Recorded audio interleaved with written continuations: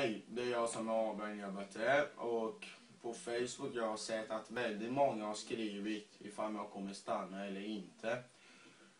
Nu, bara så ni vet, vi har varit typ Stockholm och vi har haft massa möten hela tiden så jag har inte kunnat svara på meddelanden på Facebook vad folk har skrivit men jag ber hemskt om ursäkt. Vi krisgruppet har inte kunnat skriva saker på våra hemsida. Bara att vi är så upptagna. Vi har inte tid. Alltså, vi har väldigt mycket men vi ber om ursäkt. För mig idag kommer ni se väldigt mycket som kommer upp. Och om ni undrar hur jag har haft det i Stockholm så har det varit riktigt bra. Jag har träffat Gabriel. Jag fick till och med det här halsbandet som står hopp på. Han bygger upp alltså mitt självförtroende. Han, alltså, ja, det, går, det finns inte ordet att förklara hur mycket det är att betala. Jag tackar hemskt till Gabriel. Jag tackar så mycket till er alla som har stöttat mig. Jag hoppas att ni är med mig. Tillsammans är vi alla starka. Och vi har lite saker som vi ska ta upp om advokat och vad vi har sökt in och sådär. Alla skulle du kunna hjälpa mig? Ja. ja jag heter Allen då och eh, är nära vän Tibbe.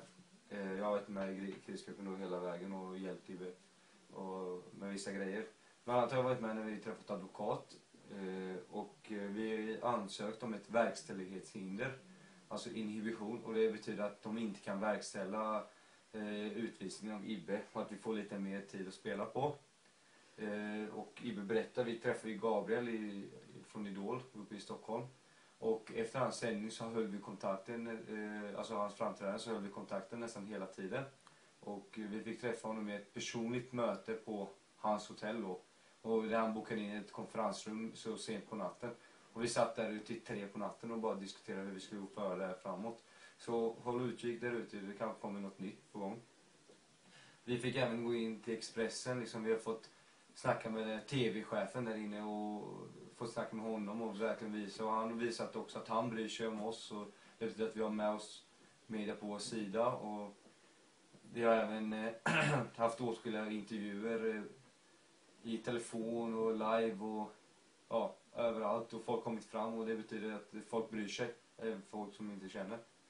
Och eh, om folk har några personliga frågor så kan de gärna kontakta mig om de inte kontaktar IB själva. Eh, för det är inte säkert IB kanske har eh, den tid eller orken som krävs för att han vill göra, göra de här svaren. Så det är bara att vi hänvisar till mig eller någon annan i krisgruppen. Jag har ett par grejer att säga. Alltså förlåt mig att jag inte kunnat svara och acceptera allas vänförfrågor.